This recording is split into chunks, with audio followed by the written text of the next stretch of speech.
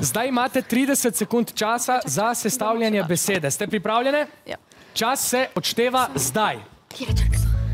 Beseda mora biti v osnovni obliki in v normativnih slovarjih slovenskega jezika.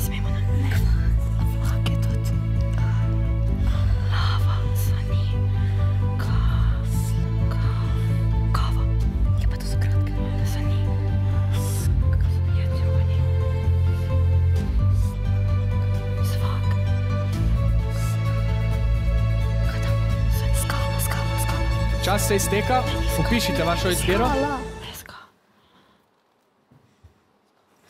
Skala.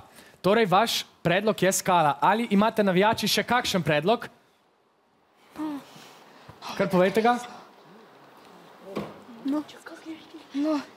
Kar hitro, povejte, če ste našli kakšno besedo, če ne. Je pa to je krajši. Knjige.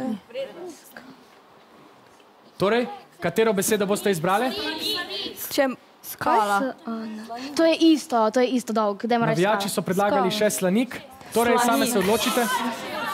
Slanik, ok. Okay, se to je prav, ne? Kaj boste izbrali? Slanik, pa to je slonič. Tako. Torej, odločili ste se za besedo? Ne, te ven. Kaj je to prav, je to Ne. Je to vaša Ja, zadnja izbira, ne, nimamo več skala, časa. skala. Torej, Skala, skala, skala. skala. Odločili ste se za skalo. V redu. eno, eno črko več. ja. Počakajmo in poglejmo, kaj bo naš doktor Krvina imel povedati za besedo skala. Če je to sploh pravilna izbira.